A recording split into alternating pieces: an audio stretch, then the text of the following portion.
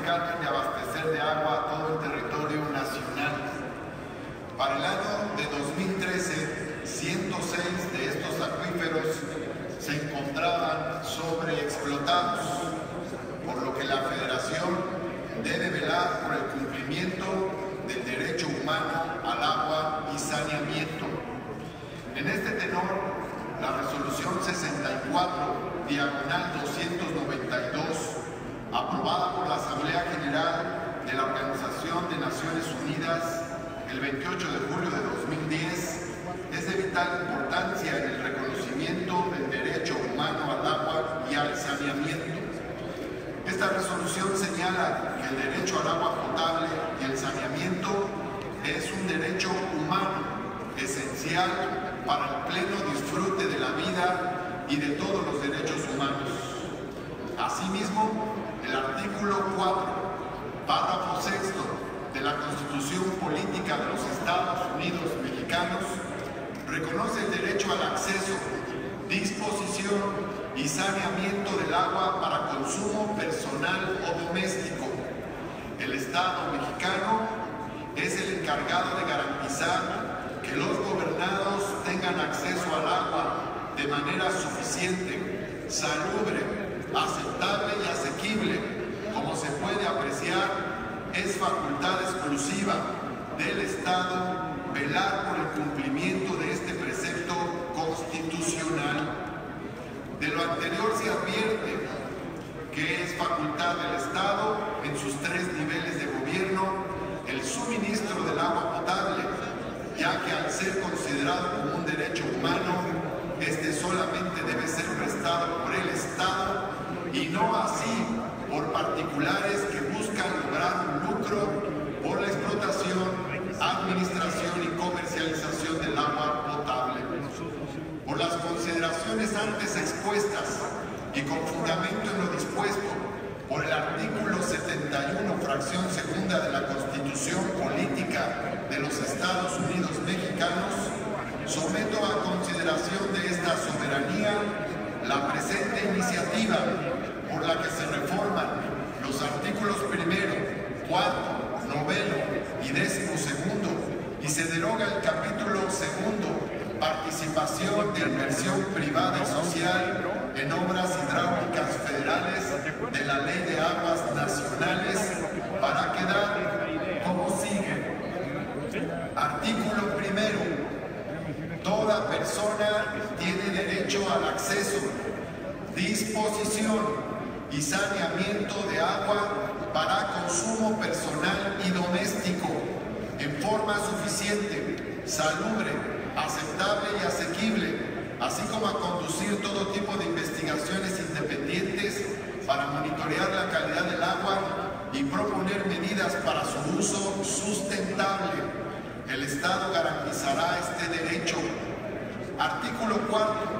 La autoridad y administración en materia de aguas nacionales y de sus bienes públicos inherentes corresponde al Ejecutivo Federal, quien la ejercerá directamente a través de la Comisión.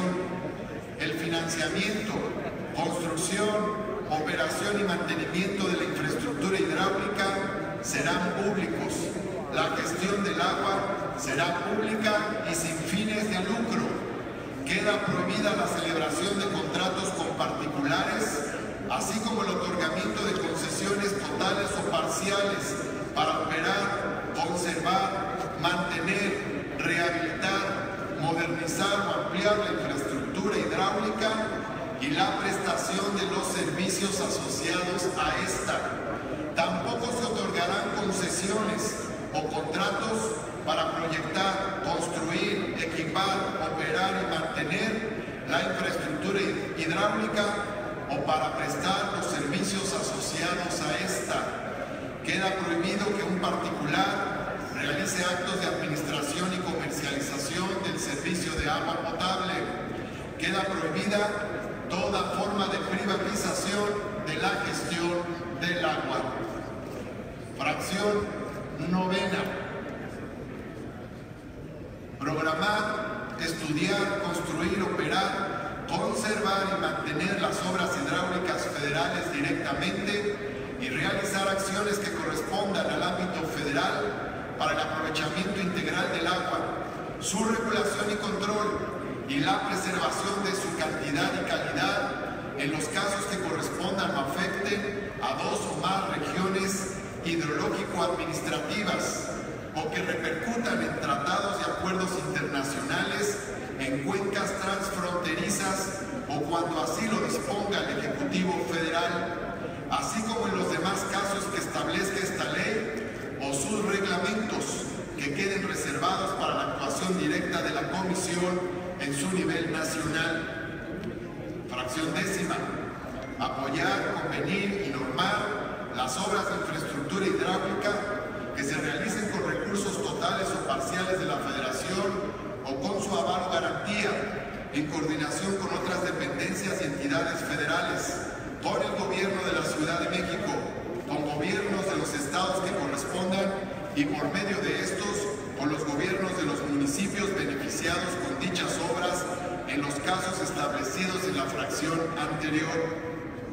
Fracción 20.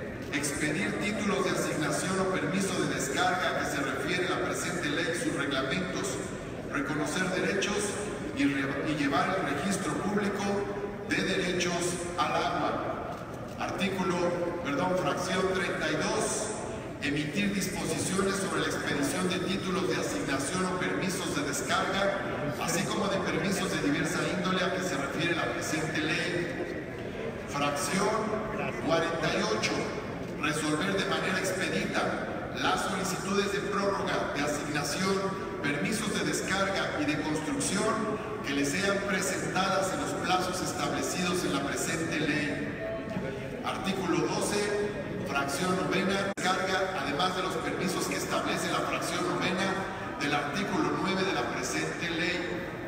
Capítulo 2 participación de inversión privada y social en obras hidráulicas federales. Quedan derogados 3, 104, 105, 106, 107 y 108 de la citada ley. Se adhieren a esta iniciativa la senadora Mónica Fernández Balboa, el senador Rubén Rocha Moya y el senador José Narro Céspedes. También el senador Salomón Jara y el senador Héctor Vasconcelos. Y gracias por su atención. Ahorita se pasará a recoger el conjunto de las firmas. Muchas gracias.